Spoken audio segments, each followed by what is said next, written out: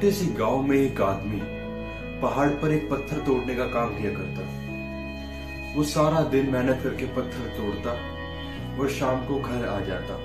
उसे अपनी ज़िंदगी से कोई गिला शिकवा नहीं थी। वो कुछ पैसे कमाता और अपने घर वालों को पालता। मगर एक दिन वो पत्थर तोड़ के वापस रास्ते से आ ही रहा होता है। तभी उसके मन में ख्याल आता है कि यार ये भी कोई ज़िंदगी है?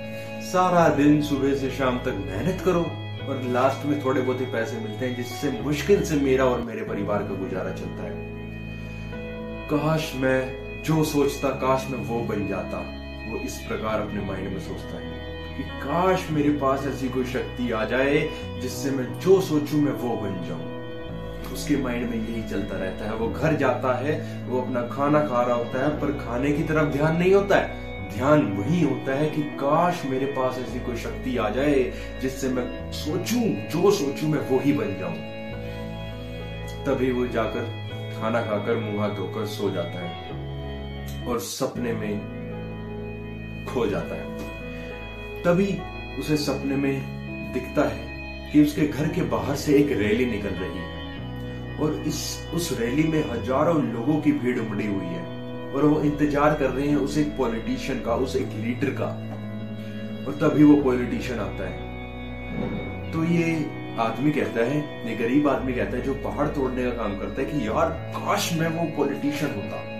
काश मैं वो पॉलिटिशियन होता तो मेरे लिए भी इतने सारे लोग आते मुझसे मिलने के लिए।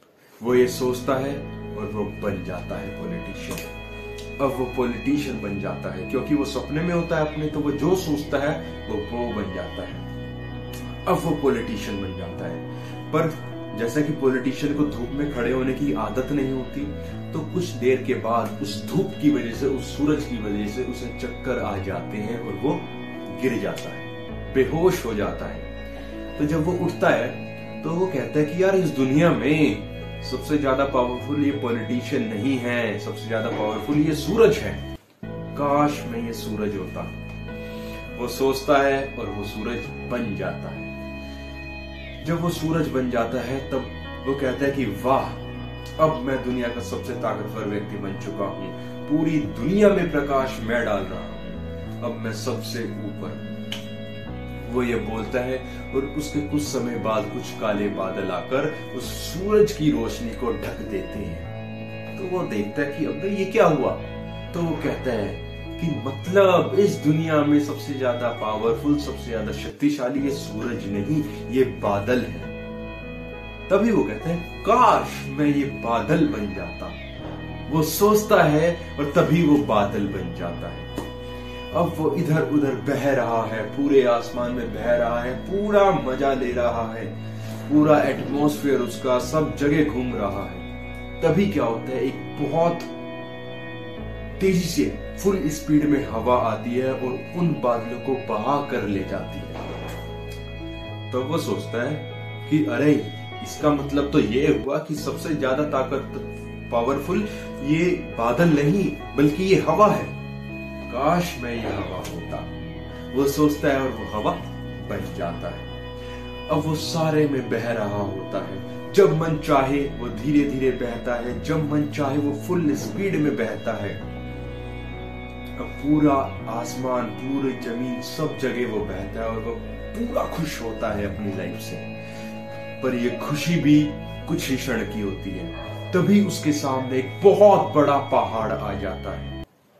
और वो हवा उस पहाड़ को तोड़ने के लिए अपनी पूरी शक्ति लगा देती है, मगर उस पहाड़ को वो हिला तक नहीं पाती। तो अब वो कहता है कि इसका मतलब ये हवा भी इतनी शक्तिशाली नहीं है। काश में वो पहाड़ होता। वो सोचता है और वो बन जाता है। अगले ही क्षण वो एक बहुत बड़ा पहाड़ बन जाता है। मगर उसकी ये खुशी भी ज़्यादा देर तक नहीं टिकती है, तभी उसे चोट की आवाज़ आती है, जैसे उसे कोई मार रहा है। इधर दर, उधर दर वो किड़गिड़ाता है, उसके आँसू निकल जाते हैं कि ये कौन है? ये कौन है जो मुझे मार रहा है? ये कौन है जो इस पहाड़ को मारने का दम रखता है? काश मैं वो व्यक्ति या वो बंदा बन जाऊँ जो इस पहाड़ को तोड़ने का दम रखता है। मगर इस बार उसका ये सपना पूरा नहीं हुआ। वो रोता है, वो गिड़गिड़ाता है कि काश मैं वो व्यक्ति बन जाऊँ या मैं वो चीज़ बन जाऊँ जो इस पहाड़ को तोड़ने का दम रखती है।